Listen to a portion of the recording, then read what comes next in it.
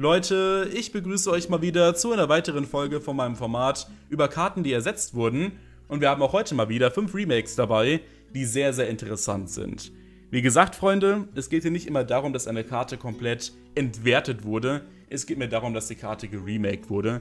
Und wir schauen uns quasi an, wie die neue Version so aussieht und wie sie die alte Karte aufgreift. Und ich fand es mal interessant, diese Karten hier zu sammeln, weil es mittlerweile einfach extrem viele Fälle von Remakes gibt, weil Konami das sehr gerne macht. Und die mal hier zu sammeln, ist, denke ich, sehr sinnvoll. Wie auch immer. Weitere Karten könnt ihr mir sehr gerne in den Kommentaren vorschlagen. Denkt auch bitte an meinen Twitch-Kanal, wo ich mittlerweile regelmäßig live streame, und an meinen Pokémon-Kanal sowie auch an meinen Sponsor Lottie-Cards. Und da würde ich sagen, starten wir jetzt mal mit der ersten Karte. Und wir starten natürlich auch heute mal wieder mit einem echten Klassiker, und zwar mit der Karte Chaos Imperator Drache, Gesandter des Endes. Und diese Karte hier hat folgenden Effekt. Kann ich als Normalbeschwörung beschworen oder gesetzt werden, muss als Spezialbeschwörung von deiner Hand beschworen werden, indem du ein Lichtmonster und ein finsternes Monster von deinem Grave verbannst, once per turn. Du kannst 1000 Life Points bezahlen, lege so viele Karten in den Händen beider Spieler und auf dem Board wie möglich auf den Friedhof, dann füge deinem Gegner für jede durch diesen Effekt hier auf den Friedhof des Gegners gelegte Karte 300 Schaden zu. Du kannst während des Spielzuges, indem du diesen Effekt hier aktivierst, weder andere Karten noch Effekte aktivieren. Diese Karte hier klingt erstmal mega broken, die hat aber ein fettes Erratum in sich, denn ja, früher war es so, dass diese Karte hier einfach so den Gegner 300 Schaden gemacht hat für jede Karte, die in irgendeinem Grave gelandet ist. Das bedeutet, auch eigene Karten haben den Gegner geschadet und dann hat man ganz schnell mal zigtausend Burn-Schaden gemacht, was teilweise auch der Kill war. Und man konnte in derselben Runde noch machen, was man wollte. Das bedeutet, diese Karte hier musste nicht der einzige Effekt sein, den man in der Runde aktiviert hat. Und das sind halt durchaus große Unterschiede. Und ja, diese Karte hier war einfach jahrelang verboten und dann kam sie irgendwann wieder. Und jetzt ist sie leider aktuell nicht mehr so relevant. Man kann die Karte noch teilweise spielen, ja. In einigen Decks ist sie eine Tech-Choice, weil halt Chaos auch Support bekommen hat und so weiter aber Insane ist was anderes. Das Schöne ist allerdings, die Karte wurde nochmal aufgegriffen in einer Pendel-Variante und dazu kommen wir jetzt. Und die Karte finde ich persönlich sehr interessant. Und das ist der Chaos-Imperator, der Drache des Armageddon. Ja, Freunde, Namen können eskalieren. Und ja, die Karte hier ist ein Stufe 8 Monster mit der Eigenschaft Finsternis und den Typen Drache und den Werten 3000, 2500. Und diese Karte hier hat die Pendelbereiche 1, 1, und den Pendeleffekt, du kannst 1000 Life Points zahlen und dann eines deiner verbannten Drachenmonster wählen, zerstöre diese Karte hier und falls du dies tun solltest, füge das Monster deiner Hand hinzu. Du kannst diesen Effekt von dieser Karte hier once per turn verwenden und der Monster-Effekt kann nicht als Normalbeschwörung beschworen oder gesetzt werden, muss als Spezialbeschwörung von deiner Hand oder deinem Excel-Deck beschworen werden, indem du ein Lichtmonster und ein finsternes Monster von deinem Friedhof verbannst. Diese Karte kann logischerweise im Excel-Deck sein, weil sie halt ein Pendelmonster ist, sie kann oben drauf liegen. Du kannst Chaos Imperator, der Drache des Armageddon, nur once per turn auf diese Art und Weise als Spezialbeschwörung beschwören, wäre auch ansonsten vielleicht ein bisschen too much. Once per turn Du kannst die Hälfte deiner Life Points bezahlen, lege so viele Karten, die du kontrollierst, wie möglich auf den Friedhof, außer von der extra Monsterkartenzone. Und falls du dies tun solltest, lege Karten, die dein Gegner kontrolliert, bis zur Anzahl deiner auf den Friedhof gelegten Karten auf den Friedhof, dann füge deinem Gegner für jede Karte, die durch diesen Effekt hier dieser Karte auf seinen Friedhof gelegt wurde, 300 Schaden zu. Falls diese als Spezialbeschwörung beschworene Karte das Feld verlassen sollte, lege sie unter das Deck zurück. Diese Karte hier ist sehr, sehr interessant. Wir können festhalten, man kann hiermit einfach gezielt Karten aufgeben, um Karten des Gegners loszuwerden und dann macht diese Karte auch noch Burn-Schaden. Und das Schöne ist, diese Karte hier wird supported vom Chaos-Support und sie ist eine Low-Scale. Und das ist interessant. Es gibt Pendelkarten, die können viele verschiedene Pendelmonster raussuchen. Und eine Low-Scale von 1-1 zu haben, ist immer schön. Die Karte ist gar nicht mal so eine schlechte Tag-Choice in Pendeldecks teilweise. Es ist wirklich sehr, sehr interessant. Ich muss sagen, ich hätte vor einigen Jahren nicht erwartet, dass Konami jemals eine Pendel-Version von so einem ikonischen Ultra-Boss-Monster rausbringt, aber es ist passiert. Und diese Karte hier ist in gewisser Weise eine sinnvolle Ergänzung. Die ist auf gar keinen Fall ein kompletter Ersatz für das alte Exemplar, ne? nicht in jedem Deck, aber die ist zumindest ein schöner Ansatz, weil die alte Karte ist halt komplett verloren gegangen. Ne? Dieses Erratum, das war schon hart, ne? das ist schon ein großer Unterschied. Und deswegen ist es vielleicht ganz cool, dass wir diese Karte haben. Ich wollte sie mal ansprechen und ich würde sagen, dieses Format hier gehört die Karte auf jeden Fall. Als nächstes haben wir dann die Karte Zeitzauberer und diese Karte hier ist sehr nostalgisch, aber leider nicht allzu gut, ne? Es ist ein Effektmonster von Joey Wheeler, das eine Münze werfen möchte, um halt entweder das eigene Board zu schießen oder das des Gegners, beziehungsweise nur die Monster sind hiervon betroffen. Und die Karte kann auch Burn-Schaden verursachen. Der Haken ist nur leider, dass der Zeitzauberer reines RNG ist und das ist gar nicht gut. Überlegt mal, wenn ihr die Normal Summon verschwendet und ihr löst diese Karte hier aus und ratet dann quasi falsch. Das ist einfach so devastating, dass man diese Karte hier niemals spielen würde. Und die hat auch kein eigenes Thema. Das Ding ist allerdings, Konami hat diese Karte geremaked als Fusionsmonster und dazu kommen wir jetzt.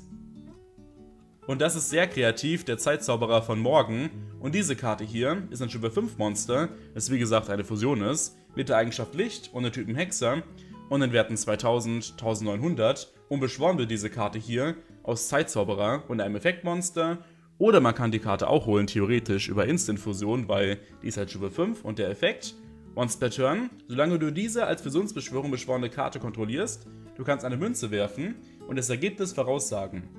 Zerstöre so viele Monster auf dem Board wie möglich und falls du dies tun solltest, füge Schaden in Höhe der Hälfte der Summe der Grund-ATK der zerstörten offenen Monster zu. Falls du den Münzwurf richtig vorausgesagt haben solltest, erhält dein Gegner den Schaden. Falls du ihn falsch vorausgesagt haben solltest, erhältst du den Schaden. Diese Karte hier ist sehr, sehr interessant, weil sie ist kein reines RNG. Es wirkt zwar zunächst mal so, aber das stimmt nicht. Denn diese Karte kann immer das Board leer räumen, ne? Du musst hier nicht Glück haben. Die Frage ist halt nur, ob du den Burn-Schaden einstecken musst oder der Gegner. Und eventuell bist du gerade in einer Situation, wo du dir selbst quasi den Schaden leisten kannst, aber das Board ist gerade gefährlich. Und da wird diese Karte hier immer gut kommen. Und wenn sie dann noch Burn-Schaden macht am Gegner, ist sie noch viel, viel besser.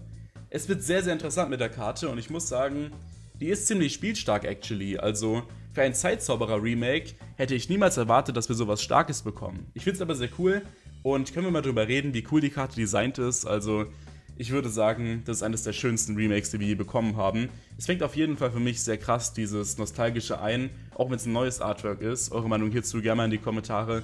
Aber es ist auf jeden Fall eine sehr, sehr originelle Karte und ich hätte niemals erwartet, dass sowas mehr erscheint. Wie auch immer, in dieses Format gehört es auf jeden Fall und gerade durch Instant-Fusion wird diese Karte hier sehr interessant. Als nächstes würde ich sagen, Leute, sprechen wir jetzt drei Karten auf einmal an, und zwar Raigeki, Harpien Federwisch und Blitzsturm. Und diese Kartengruppe hier ist sehr besonders. Raigeki kann alle Monster schießen, Flederwisch kann alle Zauber- und Fallenkarten schießen und Blitzsturm kann entweder das eine oder das andere schießen. Er ist aber once per turn und man darf keine offenen Karten kontrollieren, um die Karte zu aktivieren. Der Blitzsturm ist wirklich sehr, sehr heftig. Das ist wirklich sehr heftiger Power Creep und der ist natürlich angelehnt an Raigeki und die alten Sturmkarten bzw. Backrow Removal Karten. Fast jede Backrow Removal Karte hat irgendwas mit Stürmen zu tun. Denkt beispielsweise an mystischer Raumtyphoon. Aber der Effekt hier ist halt mehr oder weniger 1 zu 1 Harpien Federwisch. Diese Kartengruppe ist deswegen interessant, weil die Spielstärke dieser Karten hier sich krass gewandelt hat, also Raigeki und Flederwisch. Raigeki war wirklich seit Ewigkeiten komplett broken, seit zig Jahren und war auch schon damals verboten, vor einer ganzen, ganzen Weile, weil alle Monster zu schießen immer viel zu stark war. Ein Monsterboard sofort zu brechen mit einer Zauberkarte war halt einfach viel zu viel. Aber als der Power Creep quasi vorangeschritten ist, war das nichts mehr Besonderes und diese Karte hier konnte dann wieder, naja, erlaubt werden und das ist sie bis heute. Und sie ist wirklich vollkommen okay im Spiel. Niemand beschwert sich und ja, die ist solide, ne? Gute Karte, aber auf gar keinen Fall unfair. Und der Flederwisch ist jetzt auch wieder erlaubt. Die Karten sind einfach fair. Und dann kam der Blitzsturm und hat beides vereint und sagt jetzt quasi, okay, so eine Karte ist fair im Game. Natürlich, man kann die Karte nicht spielen einfach so, wenn man bereits was kontrolliert, aber wenn man Second geht und der Gegner baut ein Board auf und man zieht dann diese Karte hier, also der Blitzsturm, man kann ihn sofort aktivieren. Man kontrolliert logischerweise noch nichts, weil man war noch nicht dran bisher. Und dann ist einfach so das Monsterboard des Gegners weg oder seine Zauber- und Fallenkarten und es ist ziemlich spielstark. Aber halt nicht unfair. Und dementsprechend ist die Karte tatsächlich gut gebalanced. Ich finde es sehr interessant und ja, Blitzsturm ist tatsächlich eine gepowercreepte Version von Regeki und trotzdem fair. Soweit sind wir gekommen beim Power Creep. Interessant irgendwie, aber so entwickelt sich halt ein Kartenspiel. Ich würde sagen, Power Creep ist halt nicht wirklich vermeidbar.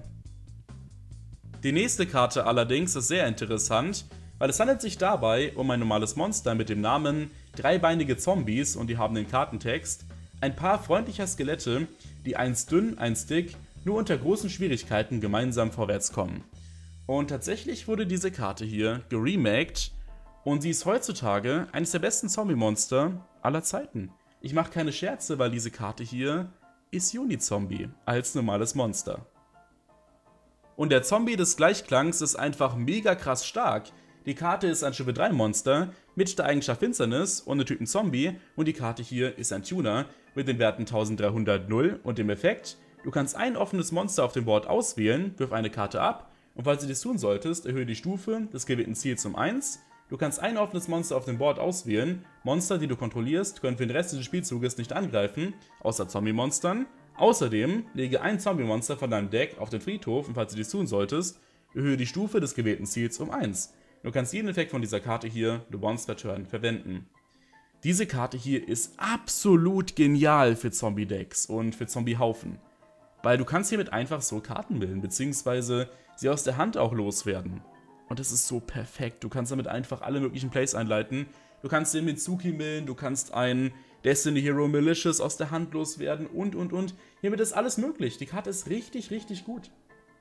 Ich muss sagen, das ist eine Karte, die muss man ansprechen, weil ich finde dieses Remake hier so interessant. Man nimmt einfach ein sinnloses, normales Monster, was nicht wirklich eine Relevanz hatte im gesamten Kartenspiel und macht daraus eines der besten Monster des ganzen Typs. Ich meine, Unizombie hat Zombie-Decks zusammen mit einigen anderen Karten komplett revolutioniert.